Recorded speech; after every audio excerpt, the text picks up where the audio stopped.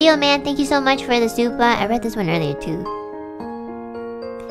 Ken says cough Kimi ni Todoke. oh my god, you guys know that Kimi ni Todoke is gonna have another season? What the fuck? It's been like 500 years. Did you guys know that? It's like season 3 or something. It's gonna be on Netflix. Yeah! Oh my god, I love Kimi ni Todoke. You're so right. They are kind of a healthy couple.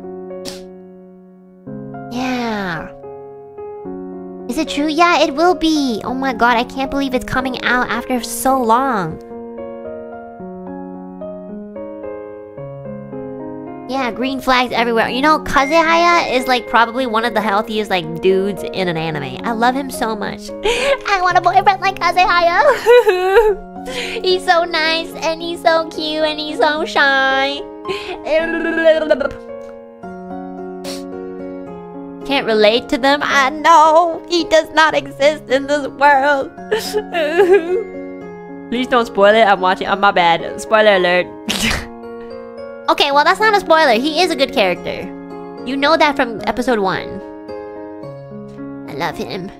And I love Sawako too. I really like Sawako, you know. When I was when I first watched Kimi ni Todoke, um, I was like still in high school, I think. Maybe. I think. I just remember being really young. I was definitely like still in school.